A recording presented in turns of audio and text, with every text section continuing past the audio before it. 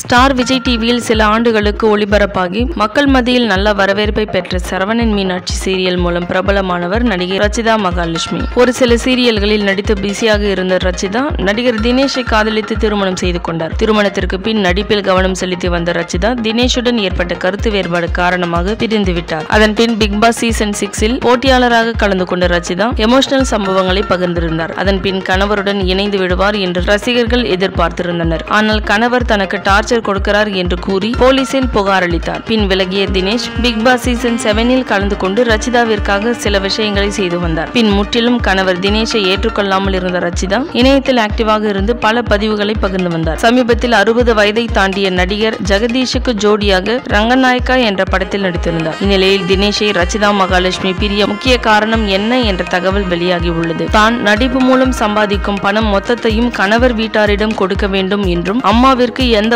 உதவியையும் செய்யக்கூடாது. பொருளாதார ரீதியில் தன்னை பெற்ற தாய்க்கு உதவக்கூடாது என்றும் கூறி தடுத்ததாலும் ரச்சிதா மனமுடைந்து கணவரை விவாகரத்து செய்ய முடிவெடுத்திருக்கிறாராம். ரச்சிதா மகாலட்சுமியை பிரியாமல் இருக்க தினேஷ் பல்வேறு நடவடிக்கைகளை எடுத்திருக்கிறார். அப்படி இருந்தும் இருவருக்கும் இடையில் விரிசல் நாளுக்கு நாள் அதிகரிக்க எப்படியாவது கணவரிடம் இருந்து விவாகரத்து பெற்றுவிட வேண்டும் என்ற காரணத்தால் தினேஷ் செய்யாத தவறை கூறி காவல் நிலையத்தில் புகார் செய்திருக்கிறார் ரச்சிதா. இதன் பின் அவரை விட்டு பிரிய எனக்கு சம்மதம். விவாகரத்துக்கு அவர் விண்ணப்பிக்கலாம் என்று தினேஷ் கூறிய பேட்டி ஒன்று தற்போது வைரலாகி வருகிறது. இதையெல்லாம் துளி கூட கண்டு கொள்ளாமல் இணையத்தில் ஆக்டிவாக இருந்து புகைப்படங்களை பகிர்ந்து வருகிறார் ரச்சிதா மகாலட்சுமி. இந்த வீடியோ உங்களுக்கு பிடிச்சிருந்தா லைக் பண்ணுங்க ஷேர் பண்ணுங்க கமெண்ட் பண்ணுங்க. மறக்காம நம்ம சேனலை சப்ஸ்கிரைப் பண்ணுங்க.